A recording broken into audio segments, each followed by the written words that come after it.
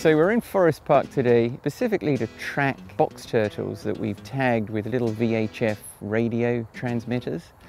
And came as a great surprise to, to me certainly as a new arrival in St. Louis to discover that you know, not only do we have this beautiful park of, of Forest Park here, but the wildlife in this park is extraordinary for a, an urban park.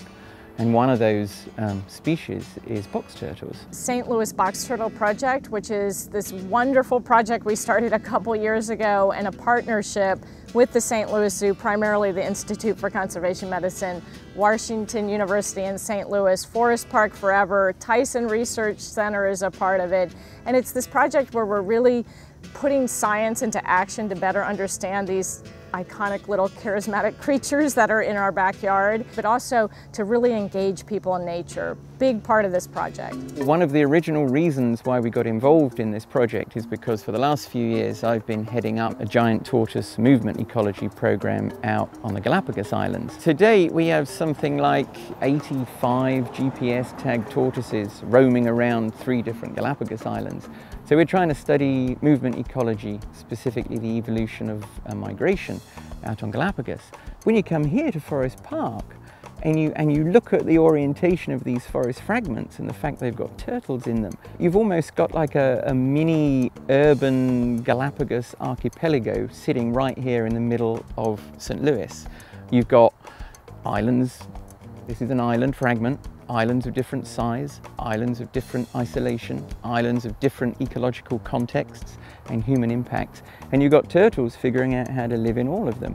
Just like, well, not quite just like on Galapagos, but the analogy is striking. So every few days, hopefully twice a week, we're out here tracking each turtle to see where it's been. Channel 14, mm-hmm. T-Rex, here we come. To look at its behavior, check its weight. 500 grams. And try and understand how turtles are using space within the park. It's kind of step one. And this is only the second hibernation we're going through, but they definitely seem to be starting to moving to, back. moving back and thinking about very close to where they were last year. Step two is to understand in some detail the health status of the turtles in Forest Park. In these first two years, we've, we've gotten a lot of preliminary data to better understand sort of what it means to be a box turtle or any other kind of urban wildlife and some of those health stressors that they face today. If we can come up with some concrete data that give us a, an understanding of how well or badly the turtles are doing,